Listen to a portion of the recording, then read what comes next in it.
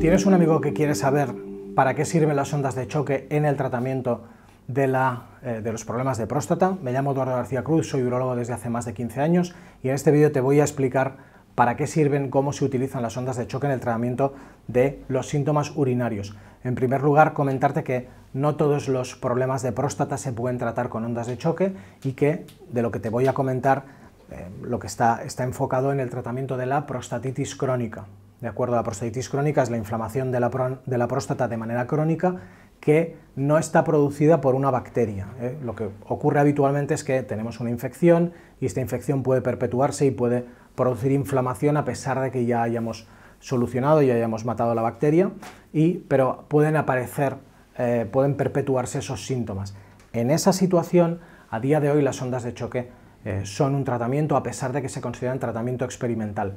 Yo tenido la oportunidad de tratar a algún paciente y conozco gente que tiene líneas de investigación en este, en este área y el resultado es bueno. Lo que se suelen hacer son varias sesiones de ondas de choque, se aplican a través del periné, que es el espacio que hay entre los testículos y el ano, enfocando a la próstata, y lo que hacemos es mandar esas ondas de choque sobre la próstata para favorecer la producción de nuevos vasos sanguíneos, para que ese tejido pues cure mejor, lleguen más nutrientes y finalmente disminuyan los, eh, los síntomas. Es un tratamiento que, como las ondas de choque habitualmente, no suele tener ningún efecto secundario, se utilizan o se pueden aplicar en la consulta, no hace falta anestesia y es un tratamiento que es, seguro.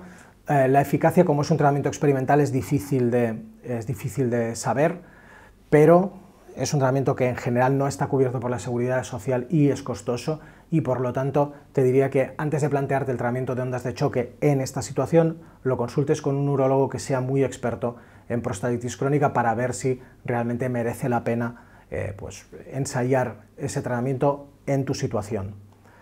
Si el vídeo te ha parecido útil, dale un like y suscríbete al canal. Sabes que tengo un amigo que tenemos un montón de vídeos sobre urología y sexualidad masculina, que ahora estamos también en TikTok y que además los domingos a las 10 de la noche hora española, 3 de la tarde hora de México, estamos en directo contestando tus preguntas.